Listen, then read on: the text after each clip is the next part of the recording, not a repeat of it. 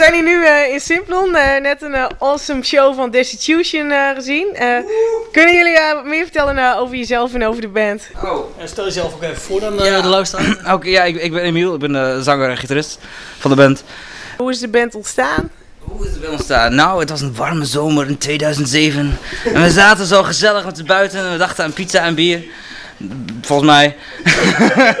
Hadden we nog kunnen herinneren. En eh, ja, en toen is de band ontstaan. Onze liefde voor trash metal. Dus eh, Oh, ja, nou ja, we stonden op de dijken in Delfzijl en eh, toen zei Emiel in het dronken bui van... Ik wil jullie in mijn band!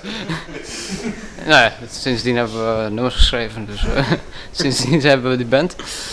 Nou, we hebben heel erg genoten van de show. Eh, hoe vonden jullie de show zelf gaan?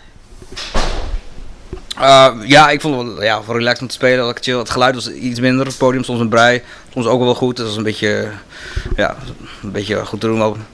Ehm, ja, weinig publiek, maar goed, ja, afgezien van dat was het gewoon eh, super chill om te spelen. Nou, zoals ik eh, op je website heb gelezen, hebben jullie, als ik het goed heb, eh, 28 oktober een EP uitgebracht, The Human Error. Hoe is die bij de luisteraars ontvangen?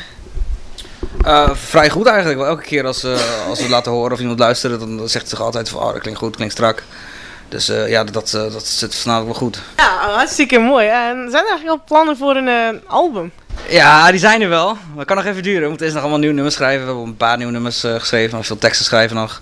En we zijn niet de meest snelste, snelste band qua nummers schrijven.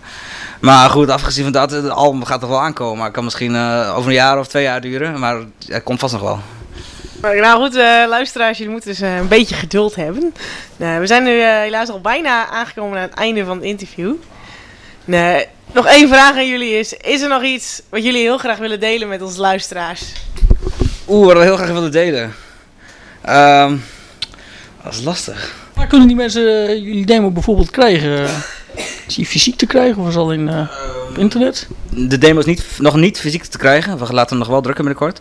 En eh, ja, de, de nummers zijn gratis te downloaden op onze website www.destitution.nl. En eh, als je naar media gaat, dan kan je gewoon de nummers dan gratis downloaden. Die bitches zitten weer te lachen. Altijd zo als ik een website opnoem. Lang vooral. Goed. Nou, wij zullen ook wel een linkje neerzetten voor jullie. Ja.